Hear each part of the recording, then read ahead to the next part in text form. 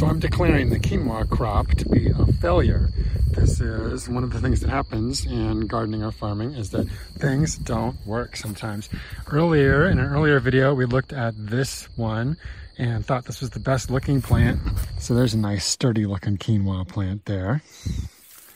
If you uh, know lamb's quarters, the weed at all, that might look a lot like that to you because they're related. They're in the same genus. We can look at it again now and see that it has indeed made these tiny little heads on here, but these are really small and pathetic considering what quinoa should look like.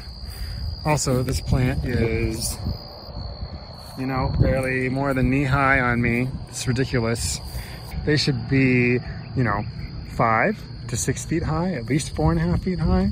But look at how tiny these plants are. These plants are tiny. Yep, this is BS.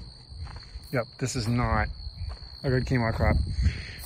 So what should they look like? Well, I'll put some pictures up um, showing a quinoa patch that we had in Portland in 2013 where you can see how tall the plants are, how big the heads are. The heads should be large, like bigger than a fist, like not just tiny like this, not, you know, something that just fits in your fingers. And yep, here's a picture of Nikki Hill and amongst the plants. So yeah, she's five foot, I don't know, four, something like that. So that's telling you how big those plants are. So yeah, look at those. I can now look back at these.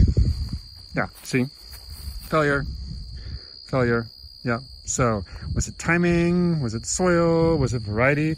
Was it that they just simply won't grow in this region of the world? That's possible. Not everything is going to grow everywhere.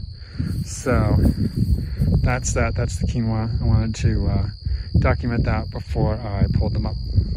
Now here in the veggie garden in the shade right next to the irrigation ditch, there's this patch of lamb's quarters here.